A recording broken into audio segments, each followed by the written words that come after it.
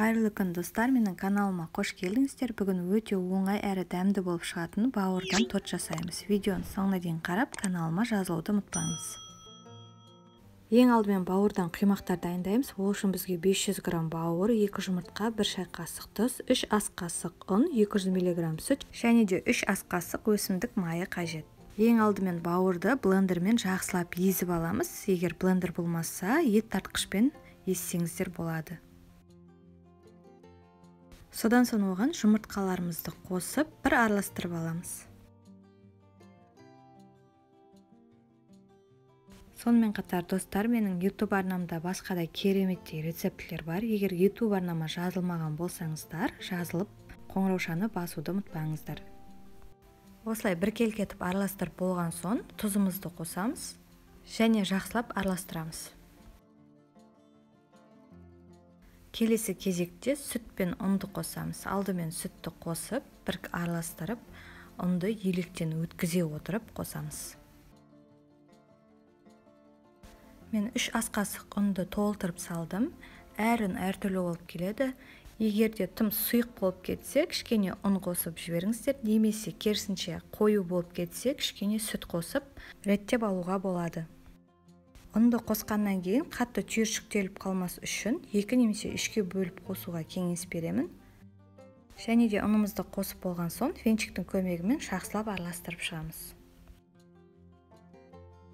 Жақсылап біркелкі етіп араластырып болған соң оған сұйық майымызды қосамыз. Егер үйіңізде өсімдік майы болмаса күнделікті қолданып жүрген күнбағыс майын қолдансаңыз болады.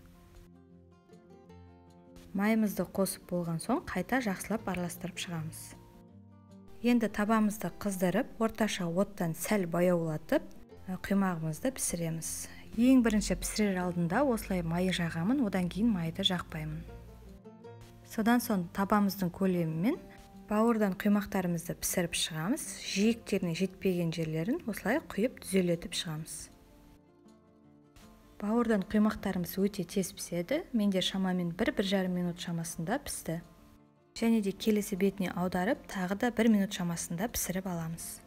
Бауырдан құймақтарымызды дайындап болған соң ортасынан салатын салмасын дайындаймыз. Пиязды осылай турап шығамыз және де сәбізді үгіткіштен өткізіп аламыз. Содан соң табаға майымызды құйып алдымен пиязымызды содан соң ә, сәбізімізді қосып қуырамыз. Пиязымыз жұмсарып қызара бастағаннан кейін ә, сәбізді қосатын боламыз.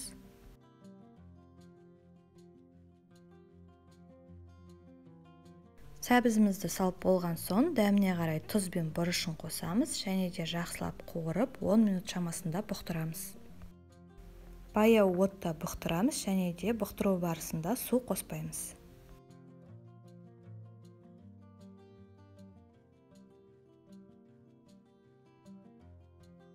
Осымен біздің салмамыз дайын.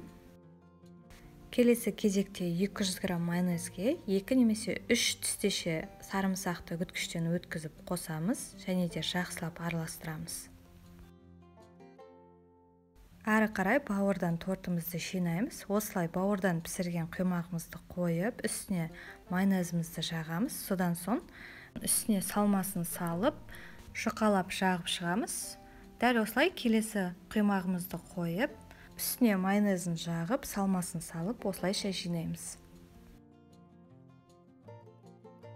Жасалу жолы өте оңай. Дастарханның көркін керемет ашады.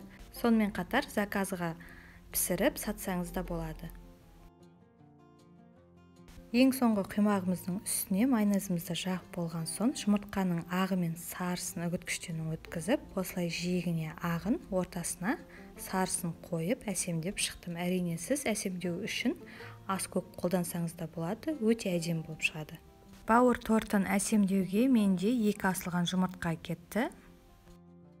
Осымен бауыр тортымыз дайын. Видеоны соңына дейін қарағандарыңыз үшін рахмет. Алдағы жаңа видеоны жіберіп алмас үшін арнама жазылуды ұмытпаңыз. Сіздермен бірге болған лаура.